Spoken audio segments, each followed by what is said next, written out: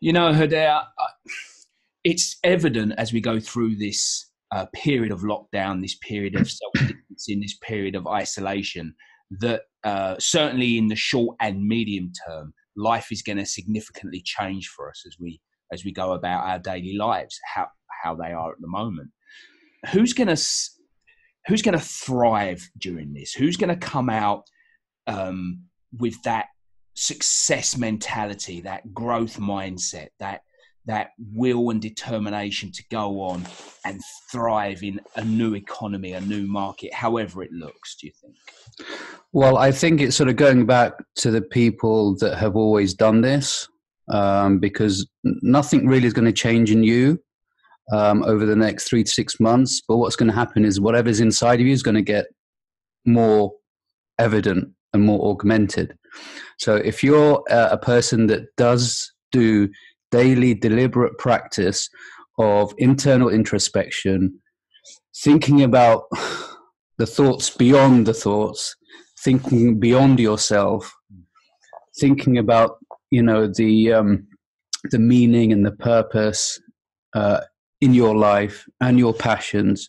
And if always if you've always been that kind of person, I think you'll be fine during these periods of time. Um, so these are the people who are going to excel. Right. These are the people who are going to have the right mindset for this period of time. And these are the people who will go on and, and, and evolve and become the next better version of themselves.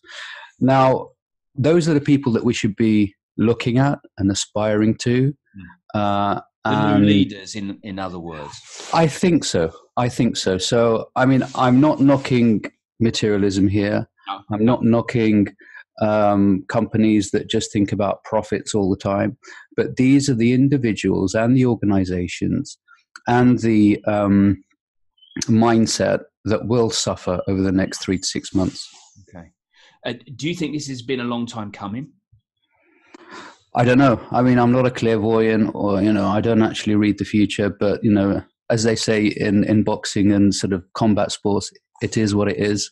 Mm. Uh, if you get knocked down, you get knocked down. It's all about what you know what you do next. And I think more and more people re- will realize how superfluous and how superficial their life was, and actually they can shed a lot of shit in their lives, a lot of shit. So you know, they'll find over the next three to six months that actually ninety nine percent of what they were doing before was actually pointless.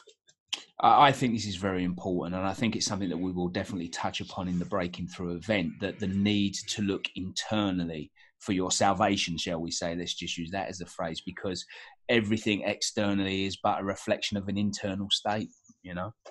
Yeah, I mean, I totally agree, and you'll find that you'll be shedding more and more of um, of the unnecessary things, and and you know that takes um, um, a, a, shift in your paradigm. That takes a, a, a shift in your narrative, in your story, uh, in your current system, and that takes um, a lot of effort. But you know, if you've got individuals there who've who've, who've done it many times, it, you know, it makes that process easier. I think also it takes a bit of bravery.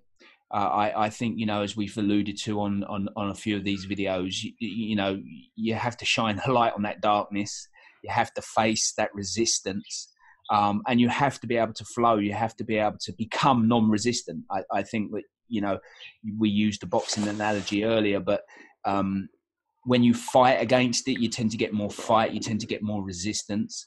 And you know, as we move forward, as we look internally, as we get introspective, as we become more aware, it's a calming period. It's a period of allowing. It's a period of flowing and that's what moves us forward much more effectively than trying to fight our way through don't you think? Yeah i mean as as mike tyson says you know uh, a brawler is not a good boxer. It's always about the smart mm. boxer. It's all about being smart. And over the next three to six months um, it's those introspective smart people that will excel. So that's what we're going to spend a lot of time talking about. We're going to talk about the internal game because to break through first you have to break through yourself You have to break through your belief system. You have to break through your narrative. You have to break through your paradigm, as you so eloquently put it. And in order to do that, you have to do the work. It's it's like a fitness program, right? It, if you don't do the daily work, you don't get the result. If you don't do the daily work in any area, you don't get the result. This is something we cannot impress upon you enough that you're going to have to do some work, and it begins with the breaking through event. And, and and also, as you alluded, everyone's doing these exercises at home. Yeah. And the good thing about this event is that you can watch it at home and you can do these exercises at home Absolutely. with your family, with your friends, with your loved ones, and then you can pass this. Um, should we call it teaching onto your friends and family and loved ones as well? And that's the whole point. We'll make it fun. We'll make it educational. We'll make it relevant. How we'll get it all in an hour, I'll never know because I talk the hind legs off a donkey. But we'll try and rein him in a little bit for you. Uh, Thank you so much. Looking forward to it, Paul. As am I. Um, we'll speak soon, very soon. Take care, my friend. Take care, everyone. Thanks for listening.